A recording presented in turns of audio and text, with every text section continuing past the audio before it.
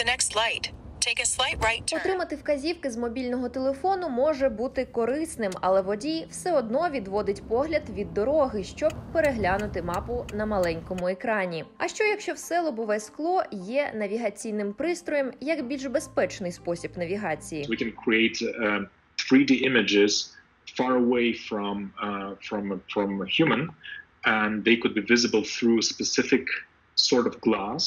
We call it holographic glass. Швейцарська компанія Wayray створила унікальну плівку, коли між двома шарами скла вона імітує лінзу. У поєднанні з програмним забезпеченням і лазерною проекцією, встановленою на приладовій панелі автомобіля, водій може бачити доповнену реальність, віртуальну інформацію через лобове скло, що на відміну від іншого досвіду доповненої реальності, можна побачити лише через спеціальні окуляри або гарнітури, We're using diffraction to reflect the light directly in on human's retina, so the they, they it looks like a real 3D object as it was in real world.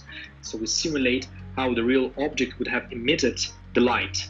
На додаток до навігації лобове скло може також відображати інформацію про безпеку, що виявляє інші автомобілі, пішоходів або об'єкти, переважно використовуючи дані датчиків, що вже існують в автомобілях. Але технологія Wayray не обмежується тільки лобовим склом автомобіля. Від вікон літаків до поїздів і будинків доповнена реальність можлива на будь-якій прозорій поверхні. У майбутньому користувачі зможуть грати в ігри, отримувати доступ до соціальних мереж, дізнаватися інформацію про те, що вони бачать, і все це через голографічні дисплеї на склі.